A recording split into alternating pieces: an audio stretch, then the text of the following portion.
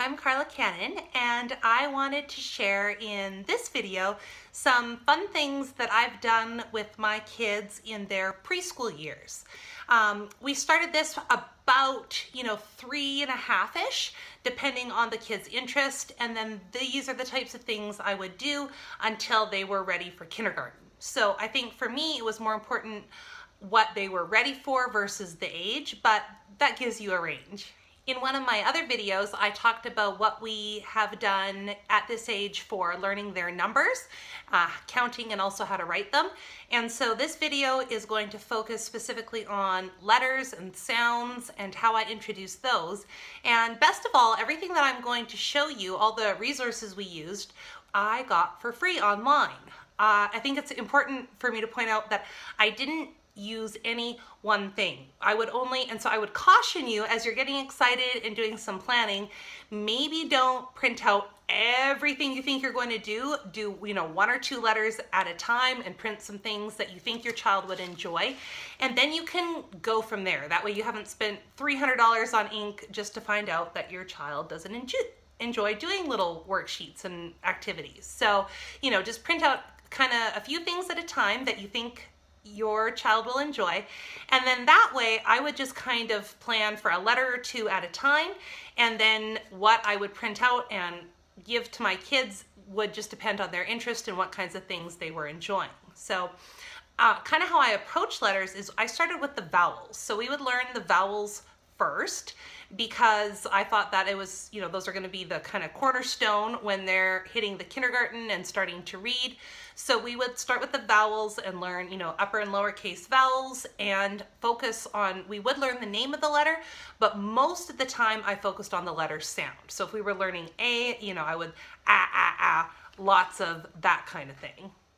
So I did do kind of a combination of uh, like worksheet things that were fun and then also some hands-on things. All the worksheets uh, and little pages that I did I found online for free. Um, and I will have all those links below in the video. And so and then I would just kind of pick and choose. So I didn't ever do the same thing every time. But one that was really one area that was really fun was from one plus one plus one and she has her animal alphabet. And so that was one um, resource that I did use almost every time we did a letter. And so she would have fun things like these Play-Doh mats and I just put them in a sheet protector and so then um, we could look at the letter and it went along with of course alligator and then we would make the letter out of Play-Doh. So that was kind of a fun example. Um, something that I did consistently as well that worked well was these pages from A Measured Mom. And again, these would be letters of all sizes. And so for each letter, and she just had them for the capitals, but that was okay. Um, they could practice making the letter big and then progressively it got smaller. And again, I just put it in a sheet protector and we'd use a dry erase marker so we could do it more than once. So that was lots of fun. And then also we used the app Iggy Alphabet and that was a really fun way for my kids to learn how to make the letters before they even had a pencil in hand. So, um, you know, it would give them different activities and they could trace the letter with their finger. So by the time they even picked up the pencil, they knew how the letter was formed. So as I mentioned, uh, the app Iggy Alphabet is a great one. Uh, here you can get a peek at it and they have activities for every letter of the alphabet. So you just choose your letter and then they kind of can work through them in order. And what's fun is as they go through the different activities they earn little um, points little golden eggs and they get to hatch a pet. And so that is silly but cute and always a big hit. So they can do the letter um, you know dot to dot then they copy the letter and that makes sure that they're forming it in the right way. And then they draw the letter freehand and then some kind of letter sound activities. And they have it both for the upper and lower case. And so that was nice. So that was super effective way, you know, when we started a new letter and we did not do a letter a week. We did a letter for as long as we felt like doing a letter. So if we were on A for a week, great. If we were on A for a month, I didn't worry about it. It was just supposed to be fun. Once I kind of felt like they knew the letter, we moved on. If we were busy, no big deal. I didn't have a strict time frame in mind. So uh, we would, you know, do some kind of hands-on things. We would use the iPad app, um, some other kind of fun things we would do. These were from uh, Confessions of a Homeschooler. We did some letter collages. So A is for animals, a, a animal, and she glued a bunch of things on. Like I said, every week we did different things. Um, we would do, these were always kind of a hit, these letter um, mazes, once again from one plus one plus one, and I'll have that link below. So they had to find all of them. I was always like, find the bee, the mama and get it to the baby. You know, things like that, super cute. So kind of fun things like that. Um, other things that we did, I tried to kind of keep it hands-on. So when my second child, my son, was getting ready to learn his letters, we went down to the river one day and I got enough smooth river rocks to have a uppercase and lowercase for every alpha letter in the alphabet. And so then as we learned letters, I had a kind of a little table that I put their things out on and um, you know, I would have them you know, match letters. And then as they learned letters, we would just keep a container of the letters they knew on the table. So then I would, you know, mix them up and spread them out. And often, you know, just kind of walking by, they would walk by and I'd be like, oh, why don't you match up the lowercase ones and the uppercase ones. And so they could do that. And then we just kind of added. So it was a nice way to kind of build in some review as we went along. Uh, I have these super cute bean bags that I got and they have the letters on them. We would also make paper plates for the letters so they could do it with paint. And then what was fun with the paper plates is I would spread, you know, once again, as you're learning more letters, there's a few more things you can do with them, but I would spread the paper plates around the room and then they could go and match the bean bag to one of them. They could match the rocks to them, and that was fun. Um, I could also throw the rocks at, no, I didn't throw the rocks at them, of course, but the bean bags were fun because I could toss the bean bag and they would, could catch it and I'd say, all right, what, you know, what sound does it make? Um, I also had these kind of picture cubes that are neat. You can slide um, things in them. These have words on it right now, but I could, you know, slide in a paper with just the letter on it. And so I could have, you know, multiple letters on there. And when they caught it, they had to say the sound the letter made and the name. So like I said, I just tried to keep it super light and hands-on. And we would do things, you know, anywhere from one second to 20 minutes, depending on how engaged and how much fun they were having. Once we'd worked our way through the vowels, then I, you can just Google online what letters are the most used, so the most common letters in the alphabet, such as um, S and R and T.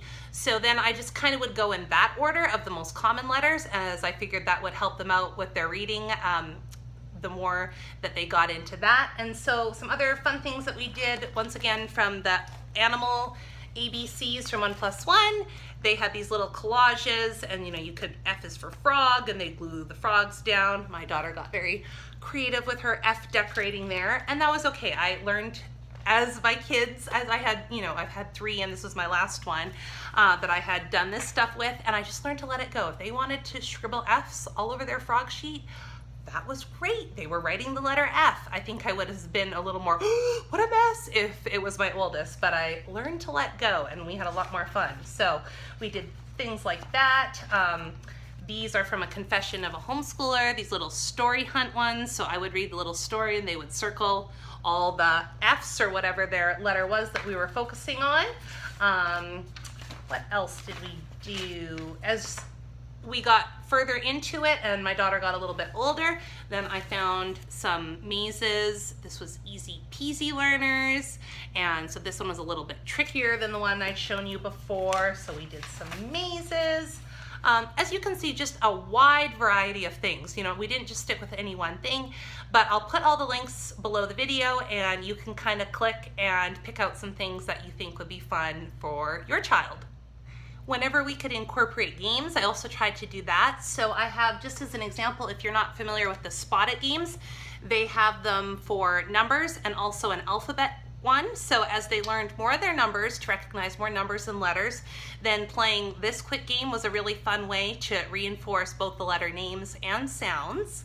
And also um, from the animal ABCs that I've mentioned a couple times now, as we learned the letter, and so, you know, of course it starts off very small, but as we learn more and more letters, then they have, you can make a little book, and so then my daughter, you know, would read F is for frog, and G is for gorilla, and that was a fun way for her to read a book, even though of course she wasn't quite ready for reading. She felt good about that and it was always like, yay, we learned a new letter and then we'd add it to her little book. So that was a fun thing we added in. Um, having some books that focus on the letters of the alphabet is a great way to do it too. So I have these, and I've seen these, you know, just at Costco. They're the um, Scholastic Alpha Tales Big Learning Set. So there was a book for every letter of the alphabet that were super cute. Obviously the child wasn't reading them. I would read it to them and I would over exaggerate the sound of the letter and they'd point to the letter as we read it. So cute little funny books. I mean, we're not talking great literary value here, but they were cute and just another way to kind of expose them to the letter. And then these, these are really cute. These are Moncure, and I don't know um, if they are in print anymore. These are kind of old school, but these are really cute if you can find them. It says my first steps to reading and um, you could probably find them secondhand. I've seen them around, but these are cute because they're little stories, but about, and the letter is a little character and then they kind of go through and they collect things that start um, with the letter and they have, I don't know, just cute pictures and sometimes you know, the child, I would have her, you know, I'd point at things and they'd say the A word, you know, now little A, you know, dropped his ants and his arrows and his axe. And so if you can find those, those are super cute as well.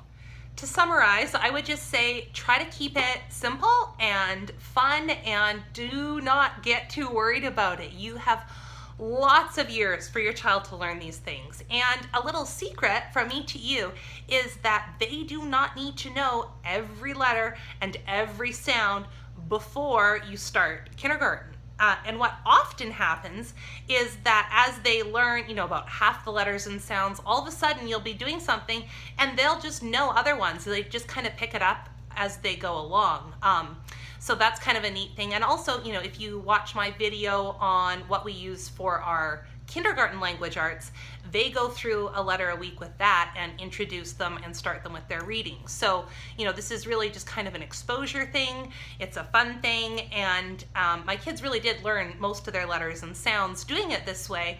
And then that was just something that they were able to build upon once they hit kindergarten. I think if you have room in your house for a little table in a corner somewhere, that's a nice thing. Um, I had just a small end table that we weren't using anymore that I found room for, and I just put a small cork board, you know, nothing huge, but just a little one I got at Walmart. And then as we did pages for whatever letter we were on, if we were on F frog. F is for frog. Then, you know, as we did different pages and little things, I'd hang their work up for that letter and I'd lay out their rocks and their bean bags. Um, and just kind of then when they would walk by it was just something kind of visual to catch their attention and be like oh you know that's my letter and they maybe mess around with it a little bit. So that was fun. But anyways the other thing is the leapfrog movies are really cute and so you can use those and it's about Tad and Lily and you know so we've been they sing the little song you know. And that's a really fun way for them to learn their letters and sounds so we have these little magnets that go on the refrigerator and you know you T says t, the T says t. You get the idea. But these are really cute and if you watch the Leapfrog movies then they learn the little song and um, it's just a fun way to practice too. So have fun with it. Don't get stressed out. It's just really to expose them and they do not have to remember everything. Remember, you've got lots of years and just exposing them helps them to develop. It's fun and um, just kind of builds one more layer of the foundation of their education. So enjoy those little ones and have fun with your kiddos.